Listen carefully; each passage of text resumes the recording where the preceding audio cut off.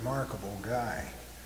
Uh, I've never quite understood what turned him against Americans because prior to the raid on Columbus, Pancho Villa was very popular in El Paso. This guy walked all around, he shook hands with people, he knew the mayor.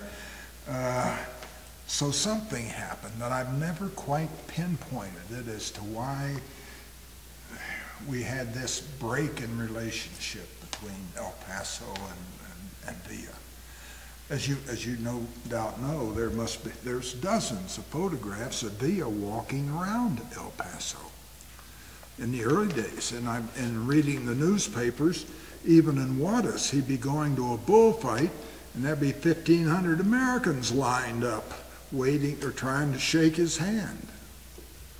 So it's one, to me, Pancho Villa is one of the great intriguing mysteries uh, of the Mexican Revolution. And maybe one of these days we'll figure it out, but we haven't yet.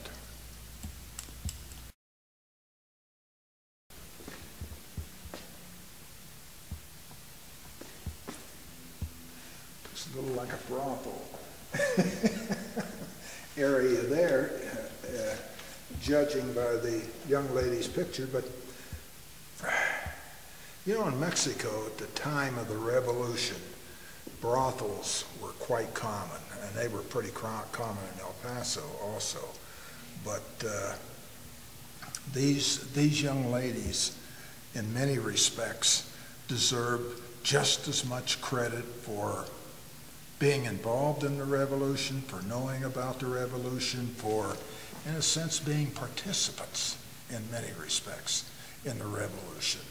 And I wish that so many of these young ladies would have written their memoirs, the things they could have told us, the things, the things about the Mexican Revolution that we don't know, or at least we can get it with a different perspective from those young ladies, and in terms of how it affected them, how it affected the family, how it affected friends, and uh, why it started and how it ended.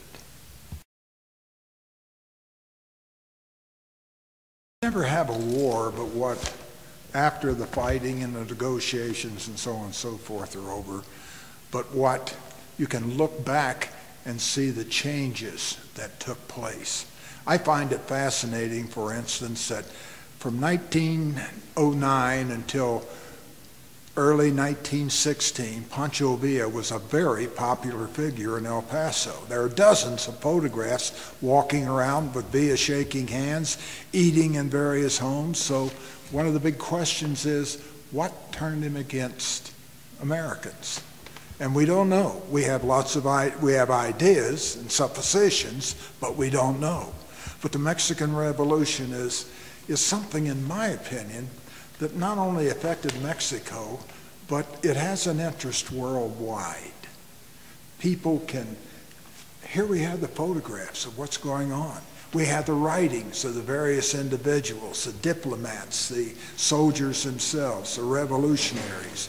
Uh, such a churning, changing uh, world in which it was, you can't help but wonder if it wasn't for the Mexican Revolution, how different would the El Paso Juarez Southwest be today? In my judgment, it would be quite different. But how different, I don't know. I couldn't offer an opinion, and we'll never know, I guess, because, uh, because the, the revolution now is over. A magnificent collection of Mexican revolutionary photos. As far as I'm concerned, and I've looked at a lot of pictures and I've been in a lot of museums, but I've never seen anything to equal what you have here in the Chamizal Museum. And I would hope that these things are collected and, and kept and, and uh, the, the collections in itself is simply invaluable.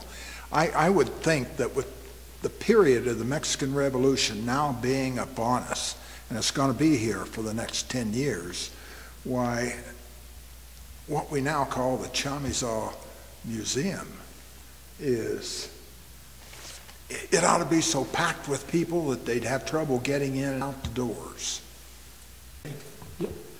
The situation in Mexico as it stands now in 2009 is, in my judgment, sad, and in many respects, it's going back to a different era, but that, that different era was a violent era, and what we have today was a violent era. The characters have changed, different individuals in, are involved. We have no leaders such as Pancho Villa. The American Army may or may not uh, intervene eventually in Mexico, but nevertheless, the period in which we're talking about now, from the last, from 1950, let's say, through the two, through 2020, it's a period of big changes.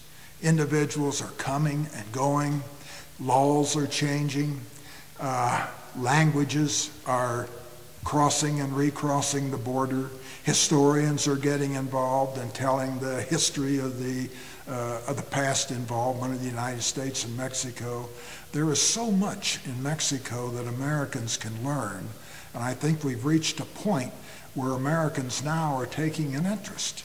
They're wondering, they're, they're reading the books, they're looking at the movies, they're trying to understand how it started and why and, and what kind of a relationship, how, how we should relate to it. I think unfortunately we have a we have a border, a boundary, an international boundary that separates us, but on the other hand it separates us only in terms sometimes of traveling back and forth.